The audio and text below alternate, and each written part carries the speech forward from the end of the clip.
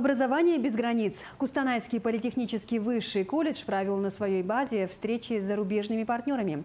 Впервые с возможностями учебного заведения познакомились ученые из России, Франции и даже Кипра. Все они готовы расширять партнерские отношения, обмениваться опытом и обучать наших студентов и преподавателей. Каких договоренностей уже удалось достичь – наш следующий сюжет.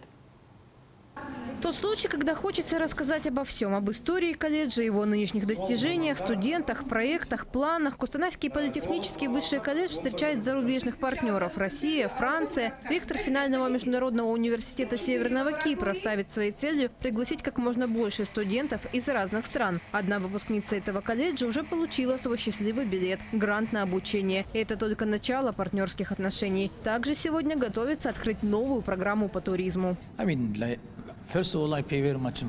Основная цель – это интернационализация. Также это большая возможность обмена опытом. Не только студенты могут приезжать, но также лекторы, учителя. Мы верим, образование – это то, где люди из разных стран должны работать вместе. Гостей студенты угощают собственной выпечкой и пирожными. Важно то, что местные преподаватели несколько лет назад прошли обучение во Франции. С одним из лицеев, который занимается подготовкой поваров и кондитеров, колледж сотрудничает вот уже пять лет. Опыт, полученный за границей, неоценим. К тому же есть о чем рассказать и о таком направлении, как дуальное образование. Alors, je ne peux pas encore euh, Эта система очень динамично сегодня развивается во Франции. Можно сказать, что наше правительство около одного-двух лет начало внедрять это. Надеемся, что наше сотрудничество с Казахстаном будет продолжено, и мы сможем обмениваться опытом по разным направлениям.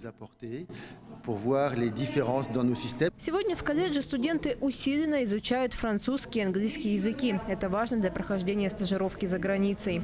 Мы планируем обсудить более детально, более пошагово конкретный план нашего сотрудничества. Плюс мы планируем открыть новую специальность.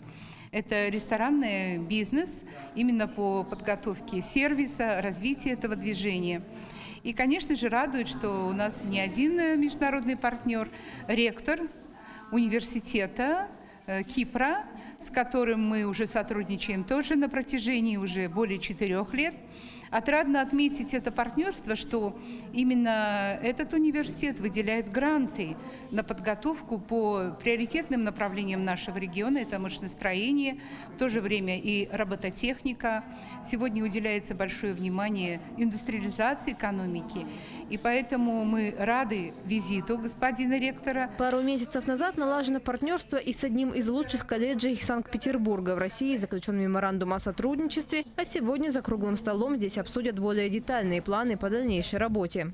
Нашей задачей стоит продолжение сотрудничества, то есть его углубление. Нужно будет подписать дополнительное соглашение, в котором мы уже более четко очертим все наши э, линии сотрудничества, утвердим тот перечень программ, которые мы хотели бы развивать. Э, мы опишем те э, возможности, которые мы можем предоставить друг другу.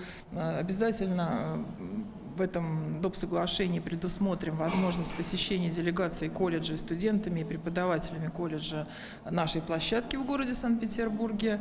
И очень надеемся на продолжение сотрудничества и видим его максимально перспективным. Один из важных вопросов – работа системы академической мобильности. Как будет проходить отбор и сколько студентов ежегодно смогут выезжать за границу. Опыт такой назовут уникальным из-за безвалютной системы обмена. То есть все расходы берет на себя принимающая сторона. Анастасия Хвалина, Тулпар Санай, телеканал Кустанай.